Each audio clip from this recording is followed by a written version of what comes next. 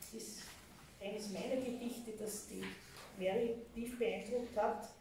Wenn Sie schauen, am 5. habe ich es geschrieben und ihr geschickt und am 6. war die russische Übersetzung da und am 7. die ukrainische ist illustriert. Es ist mit einem Urlaubsfoto, das die Mary gemacht hat. Sie ist ja sehr polyglott, sie spricht auch Griechisch und sie ist in früheren Zeiten immer sehr gerne nach Griechenland auf Urlaub gefahren.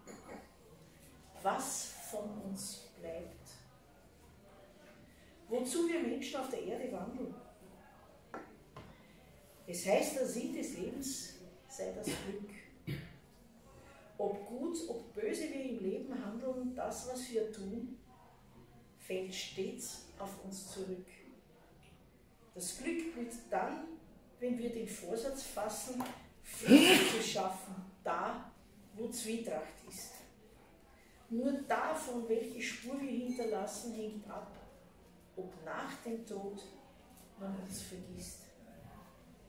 Das Tor zur Ewigkeit steht uns nicht offen. Ewig zu leben fehlt uns die Arznei. Wir sind zwar sterblich, doch wir dürfen hoffen. Auch jeder Schrecken